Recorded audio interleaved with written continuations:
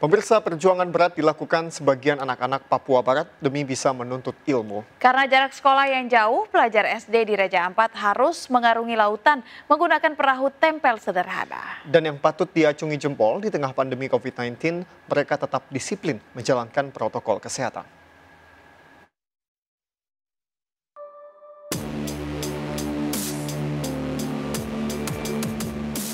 Semangat juang Julian Burdam dalam menuntut ilmu memang tinggi.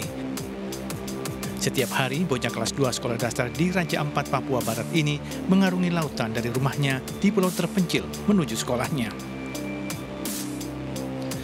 Karena jarak tempuh menuju SD Pisakabu di distrik Salawati Tengah yang terbilang jauh, Julian di antara orang tuanya menggunakan perahu motor sederhana. Setelah menaklukkan lautan selama 30 menit, bocah 8 tahun tersebut tiba di sekolah. Uh, pakai perahu dari rumah ke sini tidak takut? Tidak. Iya. Iya.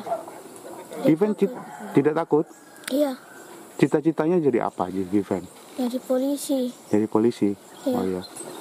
Selama corona ini belajarnya bagaimana? Senang tidak? Senang. Pakai masker terus ya? Iya. Hal yang patut diacungi jempol di tengah pandemi COVID-19, Julian bersama teman-teman tetap disiplin menjalankan protokol kesehatan saat belajar di sekolah.